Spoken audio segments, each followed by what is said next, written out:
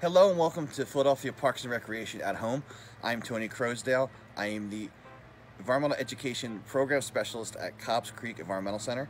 I hope everybody is at home safe, uh, being socially distant, and we're all doing our part to not spread COVID-19. So today we're going to learn how to use the iNaturalist app, and we are in my backyard, and we are going to try to identify this plant here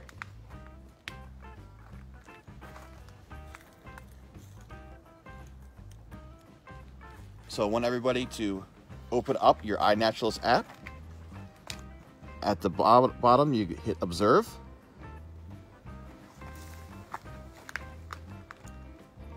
You take a photo. You hit next. You go here to say, what did you see? It'll bring you some suggestions. I agree with this one, Celandine Poppy. And then you share it.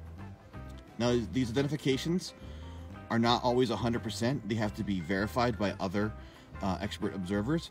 So you may not actually be identifying what you think you are. And this will never replace field guides, but this is a handy tool in the meantime until you can get to your books. So now we're inside and I'm showing you how to use iNaturalist on your desktop.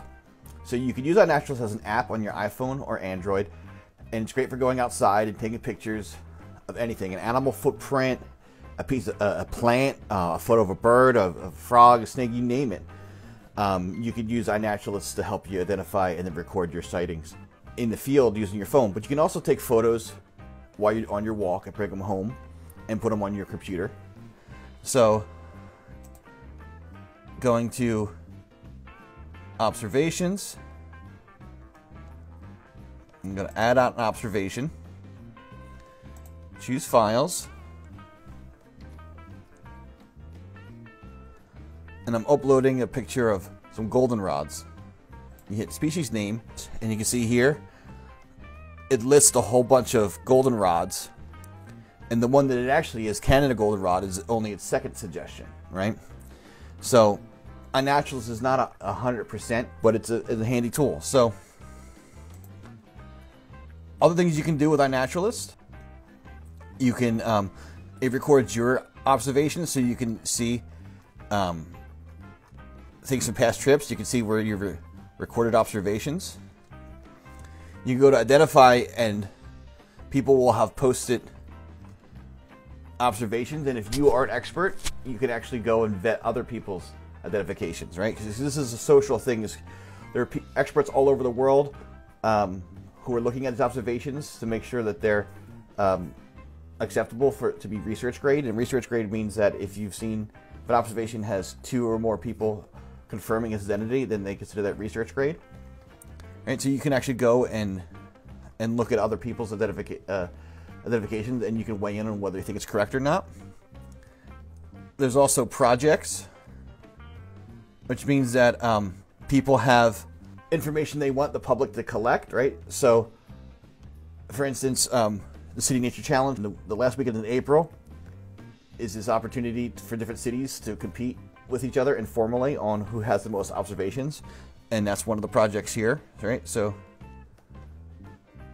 and you can see other, all these different projects. So what happens is people will pick an area and you can upload all the different kind of observations for that area and then someone can use that to get an assessment of what kind of wildlife uh, what kind of how healthy the ecosystem is, what diversity of life is there, or you can just choose certain species, just plants or birds or what have you for different areas.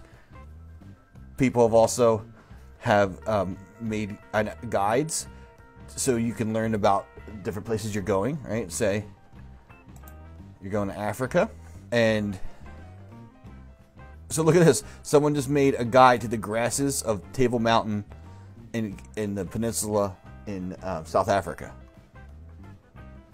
And, and this is all different projects in iNaturalist. It's not just uh, taking observations and putting them up. There's you, there's um, ways to learn different groups of animals or plants or fungi.